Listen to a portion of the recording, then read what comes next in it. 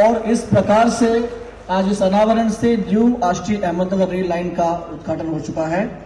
मैं पुनः माननीय मुख्यमंत्री जी से, माननीय उप मुख्यमंत्री जी से, माननीय रेल राज्य मंत्री जी से और सभी मान्यवरों से अनुरोध करूँगा कि हरी झंडी दिखाकर न्यू राष्ट्रीय अहमदनगर डेमू सेवा के शुभारंभ गाड़ी को रवाना करें। ये आज सबके लिए बहुत ही अविस्मरणीय और ऐतिहासिक घड़ी।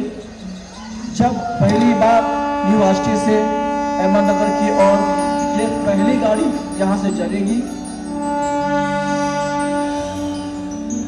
इस ऐतिहासिक पल को अपने नज़र में कैद करने के लिए यहाँ पर इतनी बड़ी तादाद में लोग मौजूद हैं।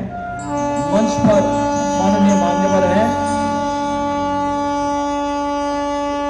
फूलों से सजी इस गाड़ी को हरी झंडी दिखाया जा रहा है।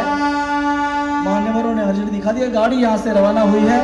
ये इस पल को आप अपने जहन में, अपनी यादों में हमेशा संजो के रखिए और जोरदार तालियों से आज इस पल का स्वागत करें।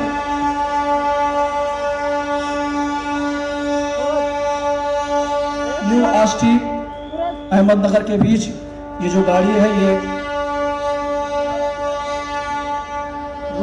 न्यू आष्टी स्टेशन से ये 11 बजे चलेगी और अहमदनगर पहुंचेगी दोपहर के एक बजकर पचपन मिनट पर। नारायण दो सोलापुर वाड़ी न्यू लोनी न्यू धनौरा और काला ये स्टेशन इनके बीच में रहेगा। आज मान्यवरों के कर कमलों से इस गाड़ी को हरी दिखाकर रवाना किया गया है।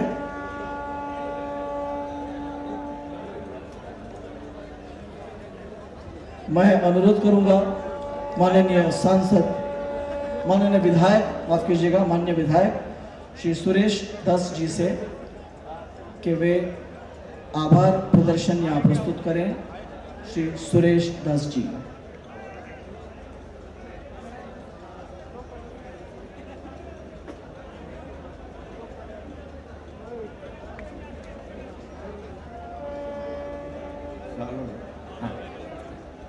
या रेल्वेच्या शुभारंभ प्रसंगी राज्याचे मुख्यमंत्री आदरणीय एकनाथरावजी शिंदे साहेब राज्याचे उपमुख्यमंत्री आदरणीय देवेंद्रजी फडणवीस साहेब देशाचे रेल्वे राज्यमंत्री माननीय रावसाहेबजी दानवे साहेब राज्याचे महसूल मंत्री माननीय विखे पाटील साहेब माननीय आमदार लक्ष्मण अण्णा पवार माननीय खासदार सुजयजी विखे पाटील साहेब माननीय आमदार बाळासाहेब आजबे मा तसेच आपल्या सर्वांच्या नेत्या हे बघा, अशी गडबड होते.